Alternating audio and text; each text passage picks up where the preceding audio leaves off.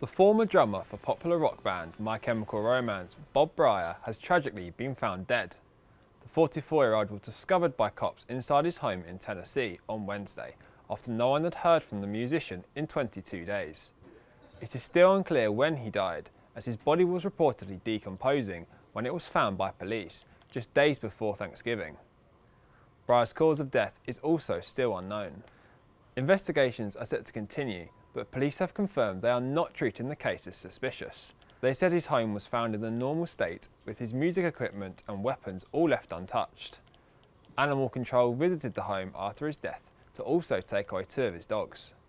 He was last publicly seen on November 4th, according to TMZ.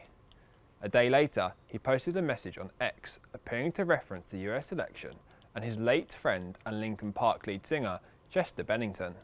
Following the death of Chester in 2017, Linkin Park disbanded before reuniting earlier this year when Emily Armstrong took over as the lead singer.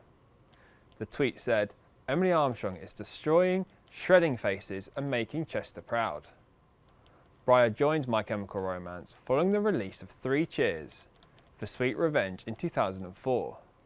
He toured with the band for years and was a part of the best-selling album The Black Parade before he parted ways with the group in 2010 in what was described as a painful decision.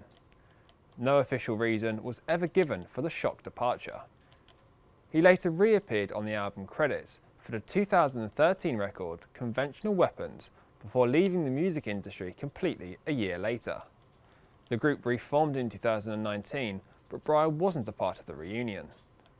He's still regarded as the longest official drummer and the longest serving one for My Chemical Romance.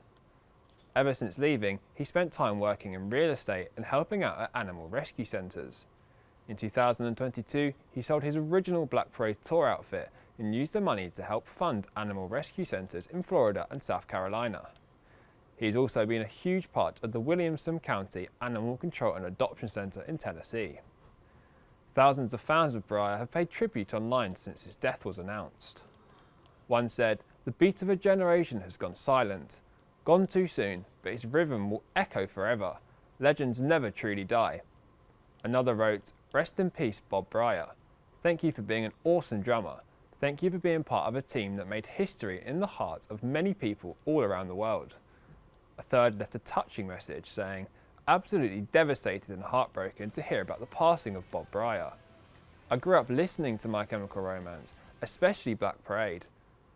Bryar was born in Chicago, Illinois, and first picked up a pair of drumsticks in his teenage years.